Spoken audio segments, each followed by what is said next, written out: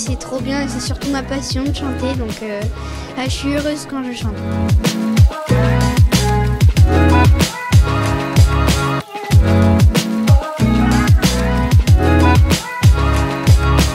Support, ça permet d'accompagner les patients en parallèle de leur parcours oncologique, euh, d'améliorer leur qualité de vie, de euh, prendre en charge les effets secondaires des traitements oncologiques, de pouvoir répondre à leurs besoins, euh, tant sur le plan physique que psychologique, que social, afin d'améliorer la qualité de vie lors de la prise en charge du patient, de la prise en charge de la maladie, dès l'annonce du diagnostic, pendant le traitement et jusqu'à la rémission.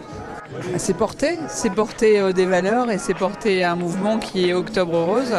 Moi, pour ma part, c'est la première année. Donc je découvre aussi ce rôle de marraine.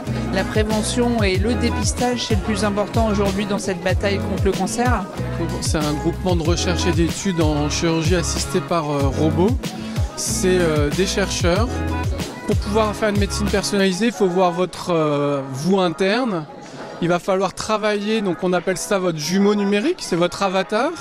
On va pouvoir travailler dessus de manière purement virtuelle, mais une fois que vous avez fait euh, cet acte virtuel, il va falloir le réaliser en réalité, et ça, il vous faut un outil. L'outil, c'est le robot pour pouvoir le faire de manière exactement telle que vous l'avez planifié. C'est un lieu de vie avant tout et euh, on aime partager aussi ces moments-là. C'est un lieu de vie, c'est un- agora comme on disait euh, en grec. Donc on est vraiment content aussi d'être partenaire de, euh, de ce beau gala d'Octobre Rose. Ça nous touche tous, donc il faut être tous solidaires.